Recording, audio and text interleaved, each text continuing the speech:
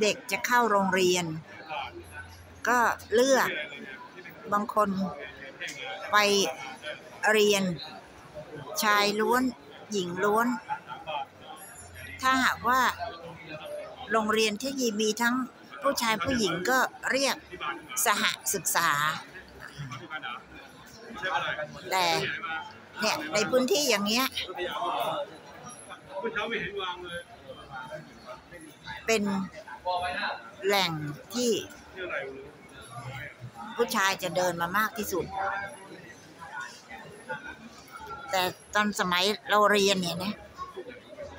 ในเมื่อมีทั้งเด็กผู้หญิงผู้ชาย เด็กผู้ชายเขาก็ไปไปแบบ โรงเรียนทหาร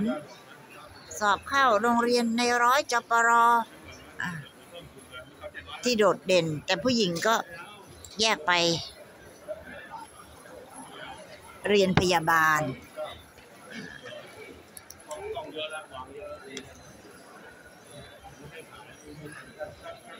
แหล่งที่ผู้ชายเยอะมากอีกแหล่งก็คือวัด